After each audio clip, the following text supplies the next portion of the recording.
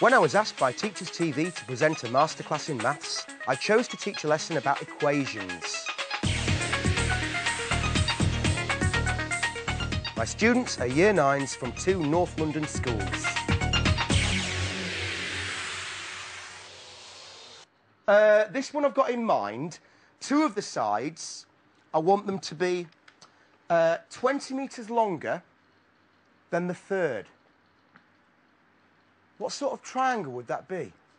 Isosceles. Good. Do you know why it's isosceles? Yeah, because uh, two two of the lengths are equal and the other one is not equal to the other two. Absolutely brilliant. Okay. So, Melanie and Esther, could you just put your clipboards down?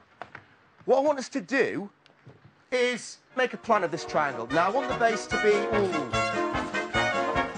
So long. Thank you very much. I'm going to call the base of the triangle x.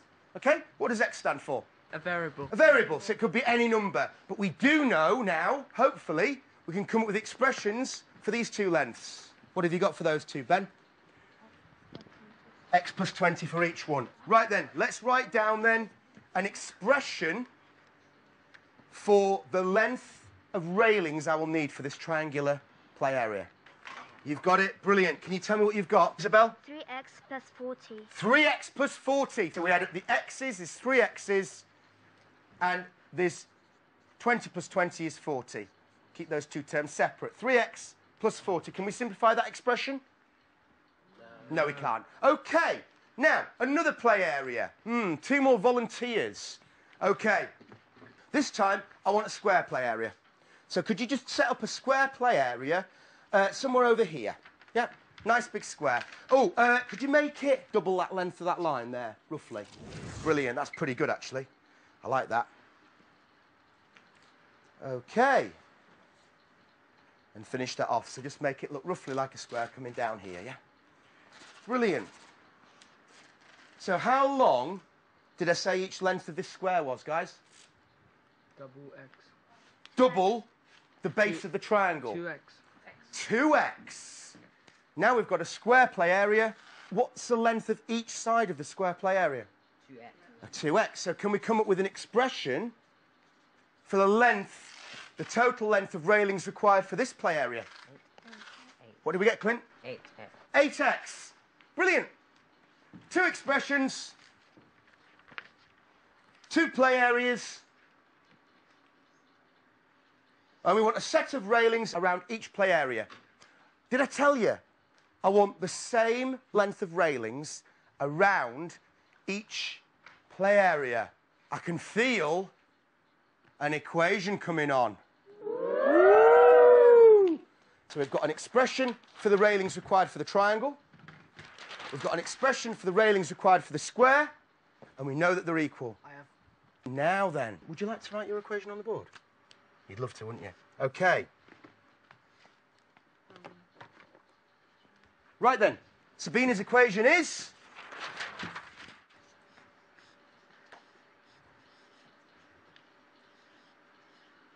What have we got? 3x plus 40 equals 8x.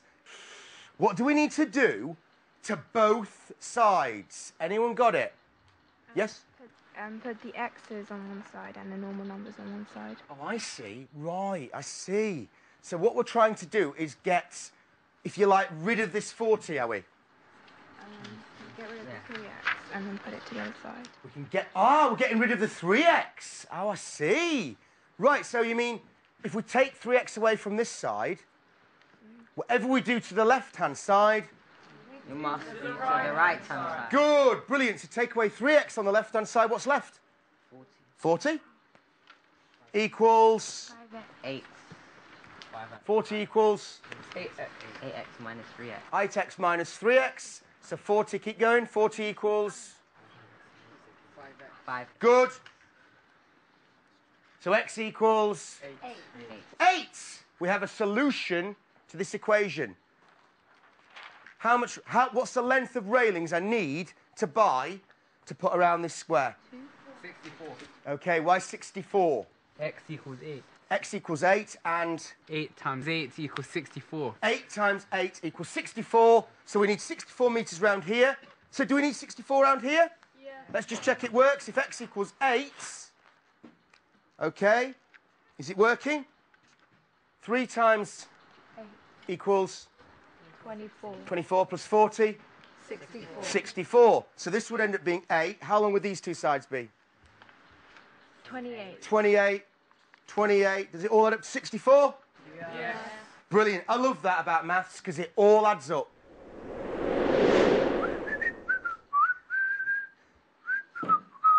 Hey, hello again. Well, I want to plant some flowers. Now, I've got a bit of a problem actually because I want one of my flower beds to be a rectangular flower bed. The width has got to be five metres less than the length. And I want an area of soil of 66 square metres. So I want to know how long my flower bed needs to be and how wide it needs to be. I tell you what, I'll just move the flowers over here. We've got the flowers, we've got the flower bed, and how much area of soil have I got? I've got, can anyone remember? 66. Thanks for reminding me. Okay, so um, I'm going to let my length this time be x. Okay? The length's going to be x, so you might want to just jot that little diagram down onto your pads. The length has got to be five metres more than the width. What expression can I write down for the width?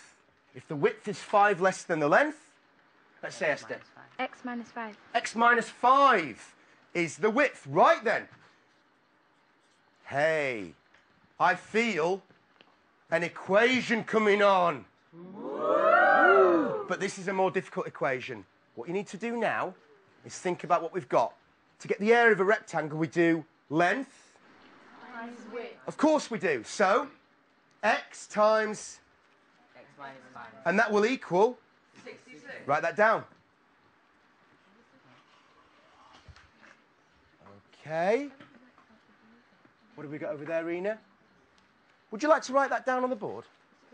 What you wrote on your pad? I quite like what Rena's written. A lot of you have written something similar. Okay, if you just stand back, let everyone see. We've got X. What's this symbol, Rena? Uh, times. Didn't we say goodbye to that a long time ago? Yeah. Yeah, should we get rid of that? Doesn't matter. It's not wrong.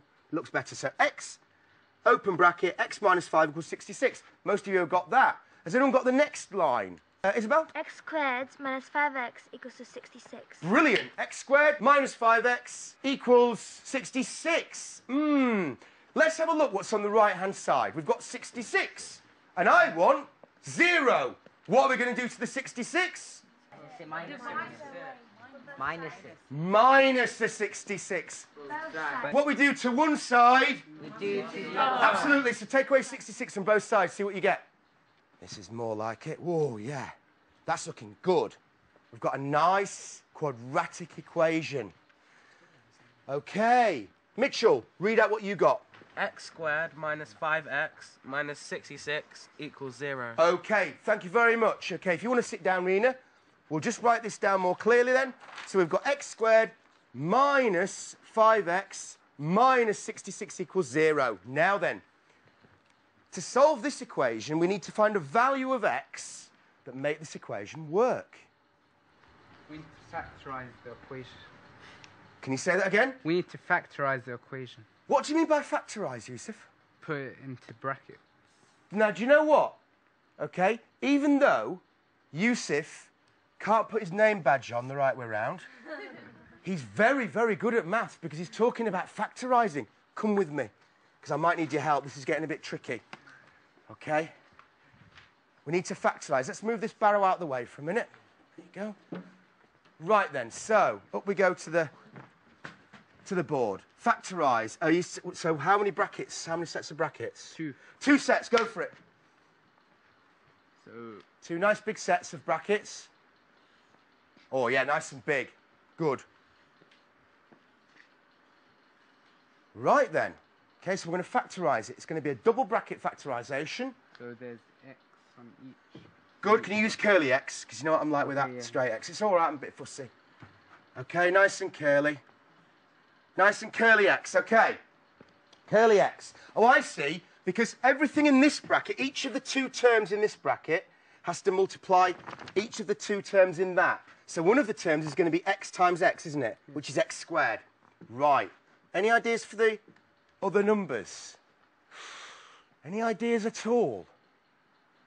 Something that times into minus 66 and something that adds up to get minus 5. Brilliant. We need two numbers, exactly, Clint, two numbers that multiply to minus 66 and add to minus 5. What are those two numbers? Oh, minus 11 and 6. Minus 11 and 6. Shall we just write it out more neatly? Minus 11 and 6. Do your nice X's again. Minus 11 and 6. Is he right? Is Millimo right? Minus 11. Write it down. I'm getting quite excited. This could be an answer. We could have found the answer. And plus 6. Let's just check that. So you're saying that, well, oh yeah, a minus times a plus is a minus. So minus 11 times 6 is minus 66, isn't it? Minus 66. Okay? And we've also got minus 11 times x, minus 11x, and then we've got plus 6x, which gives us minus 5x. It's going up from minus 11x, isn't it? Up to minus 5x. Brilliant. So we've solved the problem. How have we? Factorized it. Any other? i- We've got an answer. Go on. Find the two solutions How do we do that? by x, Go for it. Curly x. x minus 11 equals 0 and x oh, plus 6 equals 0. So you're saying that either this number has to be zero or that number has to be zero to make the whole thing zero. Is that right? Because anything times by zero is zero. All right. So now we've got two linear equations. Oh, they're sweet, aren't they? And then they're really easy to solve. So we've got two solutions for x. What are they? Write them down. x equals 11 Is he right? Yeah. and x equals minus 6. Is he right? Yeah. Brilliant. Give him a round of applause. Well done. We've formed a quadratic equation and we've come up with two solutions. Now then, let's look at the flower beds. We've got x is 11 and x is minus 6. Here's the flower bed. Okay, here are the measurements. So x is 11, so the length is going to be 11? Yeah, I'm happy with that. 11 meters. And the width is going to be y6. Yes? Because 11 minus 5 equals 6. Of course it does. So 11 meters, 6 meters gives us an area of 66. 66 Meters squared. meters squared. Um, what about the other solution? X is minus 6. Does that work? Does x equals minus 6 work?